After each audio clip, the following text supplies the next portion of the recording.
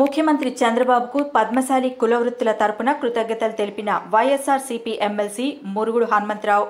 విజయవాడ సభలో ముఖ్యమంత్రి చంద్రబాబు వీవర్స్కు జీఎస్టీ లేకుండా కేంద్రంతో మాట్లాడి తీసేస్తామని హామీ ఇచ్చారు. చేనేతలకు మగ్గాలు లేని వారికి సొంత ఇళ్ళు నిర్మిస్తామని చంద్రబాబు ఇచ్చిన హామీకి వైఎస్ఆర్సీపీ ఎమ్మెల్సీ మురుగుడు హనుమంతరావు కృతజ్ఞతలు తెలిపారు. ఈ అంశం మంగళగిరిలో చర్చనీయాంశంగా మారింది.